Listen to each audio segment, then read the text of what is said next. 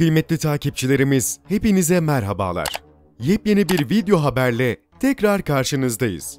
Haberimize geçmeden önce kanalımıza abone olmanızı, videolarımızı beğenip nokta dahi olsa yorum yapmanızı rica ederiz. İyi seyirler dileriz. Üç ülkeden Rusya'ya kritik çağrı. Sınırdan çekilin. Değerli izleyenler, Almanya, Fransa ve Ukrayna yaptıkları ortak çağrıyla Rusya'ya ait askerlerin sınırdan çekilmesini talep ettiler.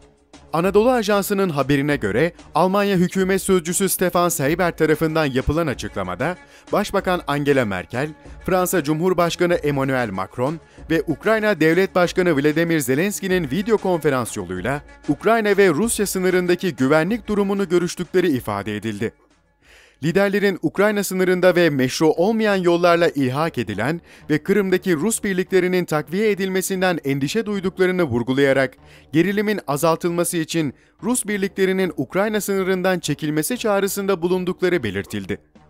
Görüşmede Merkel ve Macron'un Ukrayna'nın bağımsızlığına, egemenliğine ve toprak bütünlüğüne verdikleri desteği bir kez daha vurguladıkları kaydedildi.